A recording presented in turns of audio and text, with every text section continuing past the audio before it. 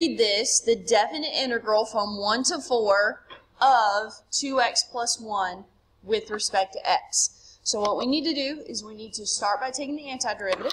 Okay, we know the antiderivative of 2x is x squared. The antiderivative of 1 is x.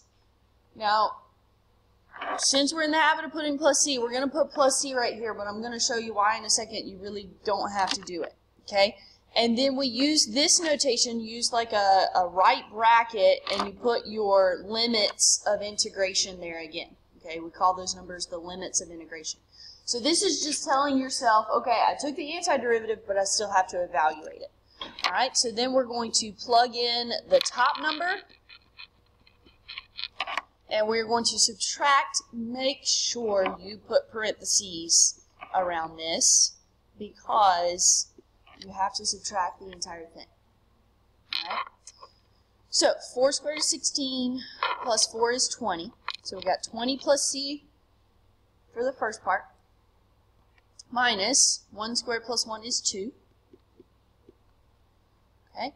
So when we distribute that negative, or when we subtract what's in those parentheses there, we get 18, and we've got c minus c. It goes away. Okay? Um, so the value of this definite integral from 1 to 4 of 2x plus 1 with respect to x is 18. So, moral of the story, at this point right here, you really, you don't, when you're doing definite integration, you don't have to put the plus c anymore. Okay? Now, if you want to do it just to keep yourself in the habit uh, for when you have indefinite integrals, that's fine, but you really don't have to have it there because it is always, always, always going to cancel. Yes, sir. Um, so Yes. Like, it gave me a function. Right. So this because it's definite, Mhm. it's like an answer. Yes. So it's like when we did derivatives, um, when we just took the derivative, we got a function, but when we wanted to know the instantaneous rate of change, we plugged in a number and we got a number for the answer. Okay. Yes, your answer is just 18. Okay, so indefinite integration, you get a function. Definite integration, you get a number. Every single time. Okay, every single time. All right, so we're just going to practice. Let's say that the limits of integration, instead of being from 1 to 4, let's say that it's from negative 3 to 2. Okay, we're going to use the same function. We're just changing the limits of integration.